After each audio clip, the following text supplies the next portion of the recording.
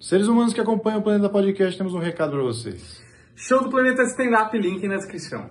Outro, outra, você citou o Mastral, tem um, uma, uma outra pessoa que está fazendo sucesso nas redes aí, também falando de satanismo, que é o Vic Vanilla. Tentamos hum. contato algumas vezes, deu uma esnobada na Sim, gente. A gente é abençoada. Não é? Mas, mas eu queria saber se você já viu ele falando.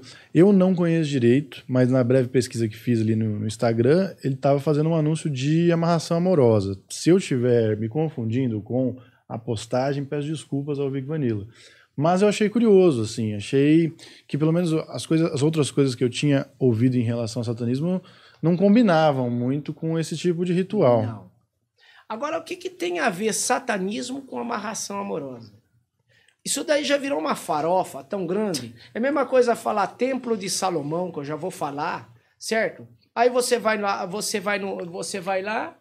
O que, que tem a ver Templo de Salomão com Jesus? Primeiro que Jesus, ele não era do Templo de Salomão, que ele foi para o próprio povo dele e, e não foi aceito. Judaísmo é uma coisa, cristianismo é outra. Porém, o, o cristianismo foi baseado no judaísmo. Satanismo não faz ritual de amarração amorosa. Eu posso fazer que eu mexo com outras linhas.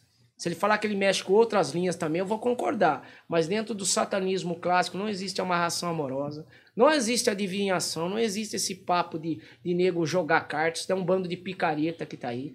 Eu gostaria que esses picaretas viessem conversar comigo, que eu vou desmascará-los em, em, público, em, ao vivo e aurora, para todo mundo ver que esses caras não passam de um bando de charlatões, na minha opinião.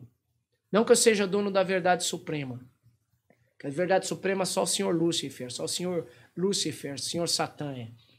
Essas pessoas são picaretas, essas pessoas são, são, essas pessoas são pilhadoras de moeda, na minha opinião, certo? É, como eu falei de, de certos templos aí, o que, que, tem a ver a sessão? Tá, procura onde que está a sessão do descarrego na Bíblia. Onde é que está na Bíblia a sessão do descarrego? Onde é que está a terapia do amor na Bíblia? Leia a Bíblia e me procure. Agora, como tem sessão do descarrego na Bíblia? Sessão do descarrego eu conhecia na Umbanda, o tempo que eu ia na Umbanda. Terapia do amor conhecia no candomblé, quando dava rosa. Então você vê que é um, uma religião, um montante de religiões dentro, que não sabe nem para onde vai e onde é. Onde o vento soprar, a folha leva. Então, é bem dito, religião formado por mãos de homens. Ah, mas o satanismo também é, tá? Não, satanismo clássico, ele não é formado uma religião, ele é uma filosofia da Europa muito antiga. Quando se nós se dividimos da igreja, nós procuramos os nossos próprios porões, as nossas próprias maçonarias negras para fazer. Agora, a religião é, virou tudo. Hoje você vê aí gente que dá consulta. Quer dizer, é, eu vejo igrejas aí que é, um, é uma umbanda cuspida escarrada, um candomblé cuspido escarrado. E talvez esse rapaz seja isso que você está falando aí, porque no satanismo eu próprio para você que não existe amarração amorosa nenhuma. Eu posso até sei fazer, só que eu sempre falo, é o tipo de coisa que eu não gosto de me envolver. Eu posso enxotar demônio, eu posso tirar. Se vamos supor você tiver com um encosto bravo, tiver com uma, uma coisa pesada, cujo na igreja você não vai tirar cujo não Umbanda você não vai tirar, você pode vir falar comigo. Deixa até meu número, você pode vir, vocês podem vir conversar comigo. Uma consulta espiritual para ajudar a pessoa, para a pessoa que tiver com problema de saúde, dar uma palavra para ajudar. Agora, eu amarrar uma pessoa com a outra, eu sou contra.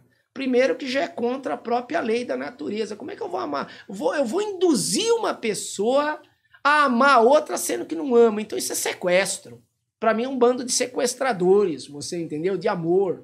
Porque o amor tem que partir natural. Quando você fala bruxaria, começa que eles estão errados aí. A bruxaria vem, eram cientistas da natureza, eram pessoas que elas viviam do natural. A bruxa de Évora ah, mas eu quero amarrar, amarrar fulano. Ela já ela falava, eu podia, eu posso até te amarrar, mas você sabe que vai durar tanto tempo, não vai ser natural. Deixa a natureza trabalhar por você. Então eu trabalho pelo pró da natureza. O meu diabo é um diabo bom, você tá me entendendo? Não é nada forçado, como as pessoas estão fazendo aí. Ultimamente, infelizmente, vocês sabem, vocês são rapazes sérios, alguns colegas da gente são sérios, mas a, a, infelizmente o, o, YouTube tá dando voz pra muito idiota, cara. Pra muita gente aí que nunca apareceu, aí tá aparecendo. Nego dizendo que é ex-pai de santo, ex não sei o quê, ex-mãe de encosto. Um dia eu falei pra uma mulher que saiu lá dessa igreja aí do, do Templo de Salomão, a senhora não é mãe nem de encosto, quer dizer, de santo.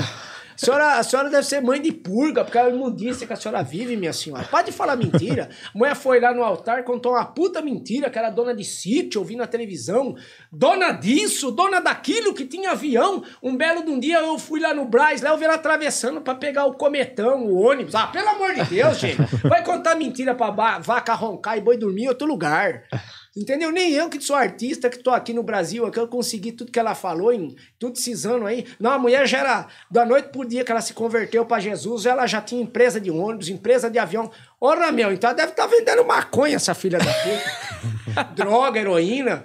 Polícia Federal, no pé dela, por favor, ó, doutor Carlos, vai lá. É, é, tem coisa aí, entendeu? Uhum. É, tem umas coisas que não cola, você entendeu? Não cola. É igual esse, esse assunto do rapaz aí, satanista, fazendo amarração.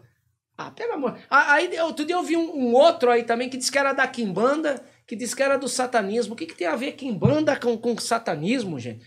A Kimbanda é um movimento dentro da Umbanda, saído da Umbanda, que é, é que chama-se é, é, é, batida de caboclo, certo? Que não é umbanda nem candomblé, é misturado, é, é, chama mistiço, miscigenação de mistiço, que foi nascido na Bahia, eu conheci eu conheci um senhor que eu já fui da Quimbanda, o maior quimbandeiro, que chamava assim Senhor Alício de Paula, de Cachoeira de São Félix. Depois foi morar em Nazaré das Farinhas, que é terra de Macumba, que eu andei muito em cima disso, estudei muito sobre isso. Umbanda é uma coisa, candomblé é outra coisa, quimbanda é outra coisa. O, a Umbanda saiu do candomblé misturado com o catolicismo. A quimbanda saiu da Umbanda e veio formar corpo, mas não tem nada a ver com satanismo. Eles cultuam Exu, Exu não é o diabo. Pronto. É bem claro assim. E Exu significa garoto de recado, tá? É, tem quimbandas que trabalham com Ogum, tipo Ogum Choroquê, mas é um outro, é um outro conceito. Eu conheci na Bahia, uma só. Uma só porque não era, é, era meia branda. Agora aqui em banda pura só trabalha com Exu e Pombogira. Agora, outro dia eu vi esse rapaz aí, eu falei, não, virou uns negócios aí, aí depois é engraçado, que começa a acontecer uns fatos diferentes, aí nego fala, tá vendo, é o diabo, é o diabo que veio para matar, roubar, não é, é a pessoa mais instruída. Você entendeu? Pessoa mais instruída, que, que nem quando eu eu carquei moleiro no Fantástico, o Fantástico saíram tudo mijado de dentro da minha sala lá, que até hoje eu estou esperando eles voltar para vir me fazer uma entrevista comigo. Depois foram mostrar a imagem do Marco lá, levaram o padre Quevedo lá, que pros desinformados achou que ele me venceu, que eu acabei com ele, que tudo que eu falei que ele ia morrer, pois ele morreu do que eu falei que ele ia morrer. E o que aconteceu com ele aconteceu, e tudo que eu falei veio acontecer, e vai acontecer muito mais ainda. Porque eles acharam que eles tiraram a farofa com a minha cara. Eu desmascarei, foi o Quevedo, não foi só uma vez só. Eu desmascarei o Quevedo na Marcel Goldsmith, no Ratinho, na Luciana Jimenez, no Fantástico. Depois do Fantástico, foi uma, foi uma, foi uma casa de umas 10 umas dez emissoras desmascarando esse homem aí. E os caras da. Os canalha de, de plateia mandando me vaiar eu, porque a verdade que eu falei, que a verdade dói, né, cara? Que quando você fala a verdade, a verdade dói. Você entendeu? Então hoje nós temos muita gente aí dizendo que é o que não é, você entendeu? Abre o olho e esconde a carteira, que nem Satanismo não é dinheiro, não é tudo isso que as pessoas falam, não.